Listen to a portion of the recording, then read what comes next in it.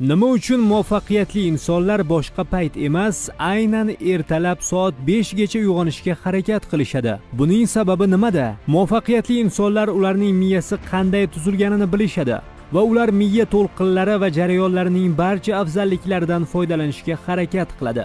Bizning miyamiz elektr impulslaridan foydalanib ularni ko'pincha to'lqinlar deb atashadi. Miyamiz ma'lum bir tezlikda ishlaydi. Taxminan 10,5 gerts 8 gertsdan 13 gertsgacha bo'lgan diapazon alfa ritm deb ataladi. Bu holatni yana ongsizlikka darvoza deb atashadi. Biroq agarda sen soat 5 gacha uyg'onsang sening miyang teta va alfa ritmlar oralig'ida bo'ladi. Ya'ni bu holatda miyang yanada ongli va chuqur holda o'rganishga qodir bo'ladi. Biroq u bo'shashgan holatda bo'ladi. Bu degani chuqur mulohaza qilish uchun ko'p harakat qilishingizga to'g'ri kelmaydi.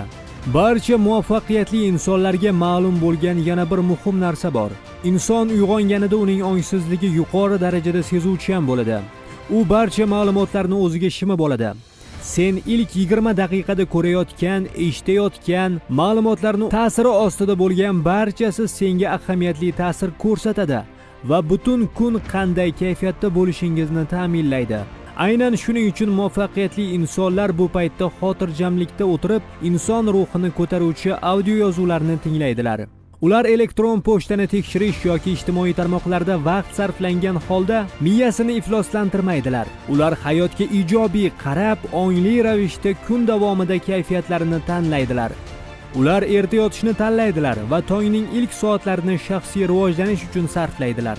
Quyosh botgandan so'ng darhol uxlashga yotish va quyosh chiqquncha turish ularning kundalik odatiga aylanadi. Nima sababdan ular erta uxlashga yotadilar? 22:00 dan 02:00 gacha bo'lgan vaqt chuqur uyquning faol fazasiga kiradi. Bu paytda insonning kuchi qayta tiklanadi. 2:00 dan so'ng uyqu o'zining foydali xususiyatlarini yo'qotadi. Uyqu davomida o'zingizni tiklash paytini muntazam ravishda o'tkazib yuborishda davom etsangiz siz ertalablari doimo charchagan va holsizlangan holda uyg'onaverasiz. Tungi va kunduzgi sikllar sening tanangga nihoyatda kuchli ta'sir ko'rsatadi.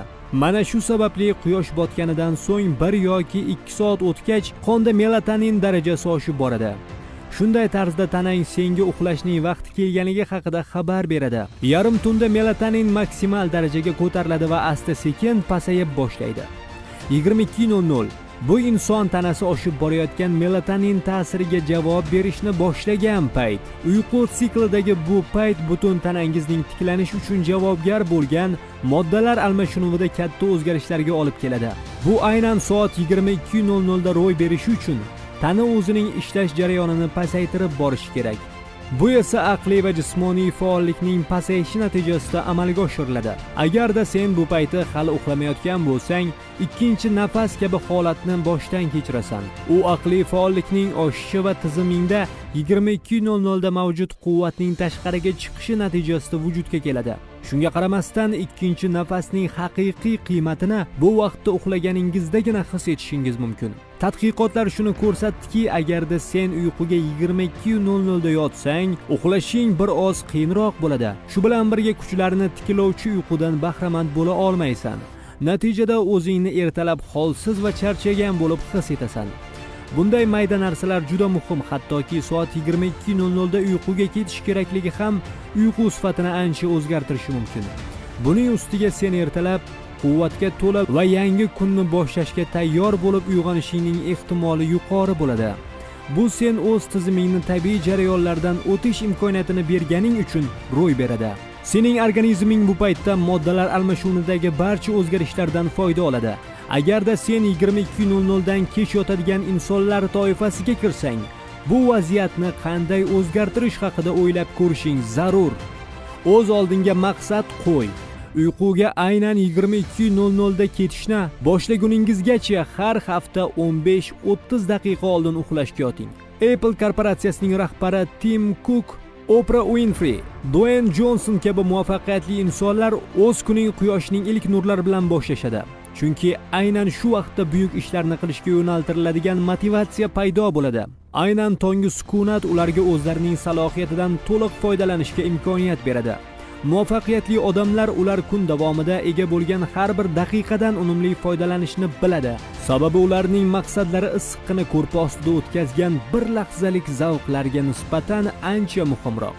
Ular o'z hayotida ertaroq turish odatini qoida qilib oladilar. Chunki qattiq intizom va doimiy muvaffaqiyatli hayotning muhim qismi ekanliklarini biladilar.